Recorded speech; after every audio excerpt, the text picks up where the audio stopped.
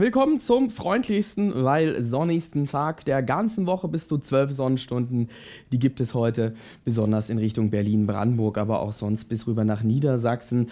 Rund 10 Stunden Sonnenschein noch entlang der Donau und auch am Hochrhein und Richtung Breisgau. Da könnten wir knapp zweistellig werden und das ist dann insgesamt wirklich ein sehr schöner Eindruck. Nur an den Alpen und im Nordwesten und Westen, da bleibt es ein bisschen trüber. Da haben wir nämlich ein paar Wolken.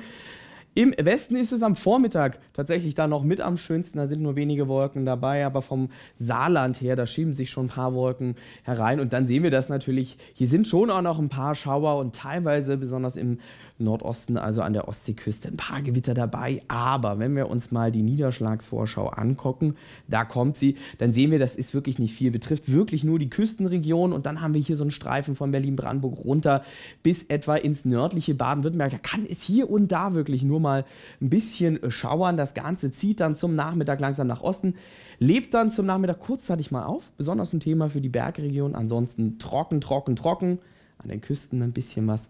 Und das beschäftigt uns erst am Abend. Also blenden wir das mal ganz schnell weg. Zum Nachmittag merken wir aber schon, dass hier eine Front aufkommt. Die Wolken werden ein bisschen dichter. Sehr viel Sonne, weiterhin hier im Osten und im Alpenvorland. Die Schauer, wie gesagt, nur ein Thema für die Bergregionen. Die Temperaturen sind aber doch ein bisschen verhalten.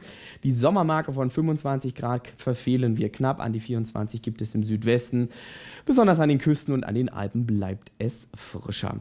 Und hier ist auch der Wind noch recht spürbar im Norden mit Stärke 5 im Mittel, in Böen auch mal 6 bis 7. Und dieser Wind treibt die eben schon gesehenen Regenfälle voran. Die kommen ja am Abend dann im Westen an und das heißt nichts Gutes für den Donnerstag. Im Osten, da bleibt es noch länger trocken, ansonsten wird das ziemlich grau und nass.